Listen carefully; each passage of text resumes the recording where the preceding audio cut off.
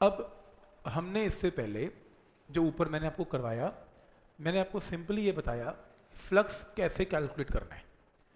तो मैंने आपको एक फॉर्मूला याद करवा दिया कि फ्लक्स कैलकुलेट करने का तरीका E vector dot D S vector अब फ्लक्स कैलकुलेट कर लेना। ठीक? अब एक साइंटिस्ट आया जिसका नाम था गॉस। गॉस कहते हैं, यार, ये तो बड़ा कॉम्प्लेक्स है कि पहले ई वेक्टर लूँ, फिर डी एस वैक्टर लूँ, फिर डॉट प्रोडक्ट लूँ मतलब ये तो पूरा फिर वेक्टर पे चले गए। तो इसने एक बहुत आसान तरीका निकाला फ्लक्स निकालने का। और वो कहता है कि ऊपर वाले मेथड में E vector dot D S vector में पहले स्मॉल फ्लक्स लूँ, फिर इंटीग्रेशन करूँ, फिर टोटल बॉडी का फ्लक्स आएगा। वो कहता है, ऐसा कुछ भी मत करो। गॉस थ्योरम कहती है कि अगर आप मुझे कोई भी क्लोज्ड बॉडी दे दो, ये फिगर ज़रूरी है क्लोज्ड बॉडी अब मैंने पूछा क्लोज बॉडी कैसे? वो क्या होती है? क्या क्यूब एक क्लोज बॉडी है? बंद है? हाँ वो बंद है। इट्स अ क्लोज बॉडी क्या क्यूबॉइड क्लोज बॉडी है? It is a close body क्या sphere is a close body it is a close body क्या sheet is a close body ना शीट तो ओपन है। ठीक है? बंद नहीं हुई ना हर तरफ़ से तो वो क्लोज नहीं है। तो कोई भी बॉडी बंद हो शेप कोई मर्ज़ी हो, वो कहता चलेगी सिलेंडर दो या कोई भी चीज़ बंद करके दे दो। तो मैंने पूछा कि कोई भी मतलब शेप कोई भी? तो कोई भी। आर्बिटरी भी। टेढ़ी मेढ़ी कोई भी हाथ, कोई भी, वो भी चलेगा।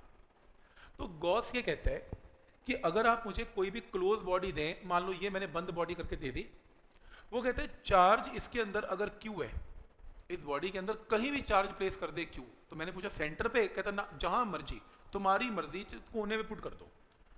ये क्यू चार्ज पॉजिटिव अपने अंदर से लाइंस को बाहर निकालेगा, इलेक्ट्रिक लाइंस ऑफ़ फोर्स निकालेगा। ये देखो तो लाइंस परपेंडिकुलरली क्रॉस भी करेंगी इसे। तो इसका कुछ तो फ्लक्स आएगा। तो पहला तरीका फ्लक्स निकालने का क्या है? आप पहले स्मॉल सरफेस एरिया लो डीएस फिर ई e वेक्टर लो डीएस वेक्टर लो ई डी एस करो इंटीग्रेट करो, फिर आएगा फ्लक्स पहले मेथड से। गॉस कहता है, कुछ मत करो। बस मुझे ये बताओ कि क्लोज बॉडी के अंदर कितना चार्ज है? अंदर चार्ज है क्यू जहाँ मर्ज़ी पढ़ाओ। उसको एफ़ सैलन नॉट से डिवाइड कर दो। टोटल फ्लक्स आ जाएगा। आपको इंटीग्रेशन करने की ज़रूरत ही नहीं है। कुछ भी मत करो। Total charge inside a body को एप्सल नोट से डिवाइड कर दो, ये लंबा मेथड भूल जाओगे। बस एक सेकंड में आंसर आएगा क्यू अपॉन एप्सल नोट तो पॉइंट समझ में आ रहा है? ये गॉस ने शॉर्टकट बताया। अब इसके अंदर काफ़ी लोग सोचते हैं कि क्यू चार्ज जहाँ मर्ज़ी रख दे हाँ जहाँ मर्ज़ी रख दो। वो कहते प्रॉब्लम ही नहीं है, क्योंकि अगर तुम टेढ़ा भी यहाँ भी रखते हो कोने पे तो कोई बात नहीं। लाइंस तो परपेंडिकुलरली फिर भी कट करेंगी करेंगी। सेंटर पे रखो, जहाँ मर्ज़ी रखो लाइंस ने तो क्रॉस करना ही करना है। तो टोटल फ्लक्स बॉडी का कोई फ़र्क नहीं पड़ता, वो कहाँ पर पड़ा हुआ है? पर जितना चार्ज है अपॉन एप्सिलॉन नॉट अब किसी ने कहा, सर, मेरे पास तो चार्ज ही नहीं है। तो कहता फ्लक्स तेरा ज़ीरो ही है। तेरा फ्लक्स नहीं आ सकता, क्योंकि तेरे पास चार्ज तो है ही नहीं। लाइंस कहाँ से लाएगा? तो फिर फ्लक्स ज़ीरो है। क्या ये पॉइंट क्लियर है? तो गॉस थ्योरम के अकॉर्डिंगली फ्लक्स निकालने का तरीका ये है।